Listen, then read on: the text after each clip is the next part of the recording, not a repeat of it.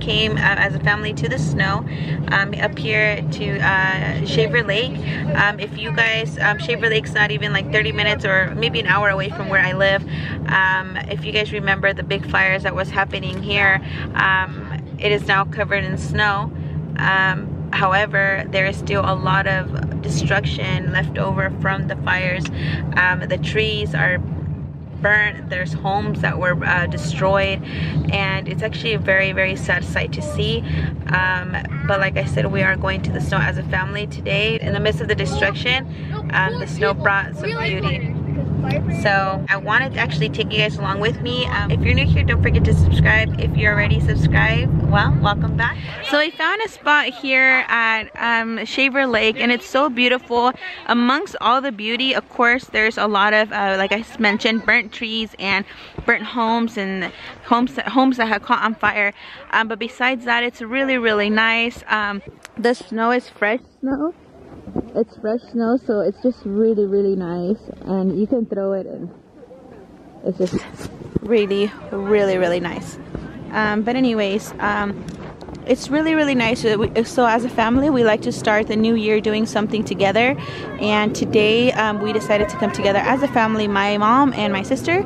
So we're here together and it's actually really nice and it was worth the drive of course and we're all together including with my foster child because it's important to include your foster child in all that you guys do because at the end of everything they are family even though they were placed in your family they are still family so it's only for children you don't like the big ones no. there's my husband right here Opa. So my son Emery is cold. He's too cold. Do you like the snow?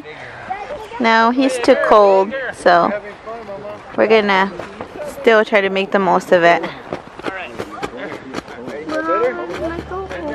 Soon, buddy.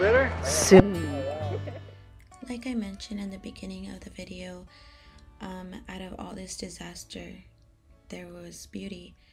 And I feel really blessed to be here at this moment um, because the fires were really hard on our community and hard on many people, mainly the people in Shaver Lake um, that lost their homes.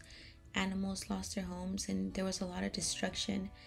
Um, I remember coming out of sight of my house, and ash was falling down in my hair and in my car. And I remember my children going outside and saying, Mom, Mom, it's snowing, it's snowing.